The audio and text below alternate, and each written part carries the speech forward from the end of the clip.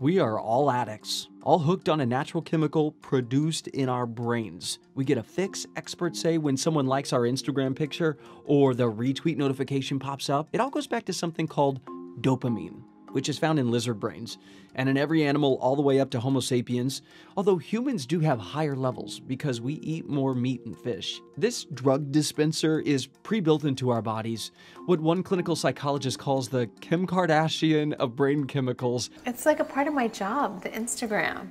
It's the reward and pleasure drug. Dopamine is linked to love, lust, sex.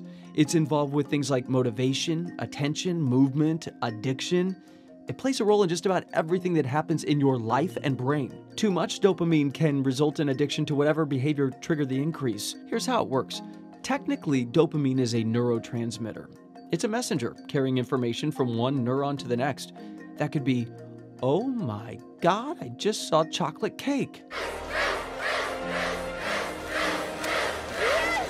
I love this cake, and more would be even better.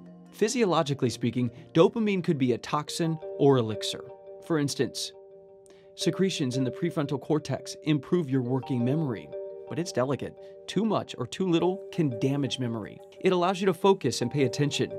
Too little can trigger ADHD, even Parkinson's. Drugs like cocaine and amphetamines allow extra dopamine to remain in your brain longer than normal, resulting in heightened feelings of pleasure and more of the drug. It not only rewards us, but it also makes us anticipate that future pleasure, like that first frosty bite of the second piece of cake. Big Tech is well aware of how this works. It's the pleasure pain repeat cycle. The author of The Hacking of the American Mind, who's a medical professor, writes Technology, quote, is not a drug, but it might as well be.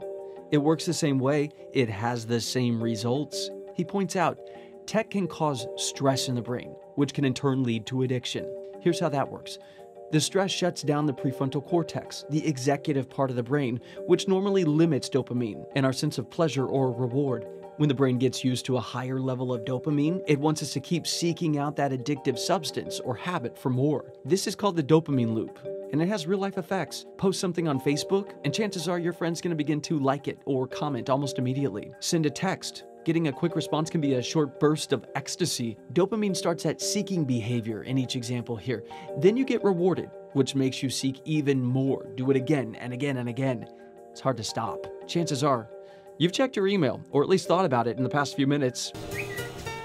Or Twitter, or both. That's not technology knocking, it's your brain. It likes some dopamine. Now.